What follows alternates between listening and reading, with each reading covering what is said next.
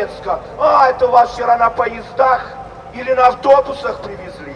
Я говорю, да нет, сегодня 70 человек на самолете привезли, потому что людей же у вас не хватает.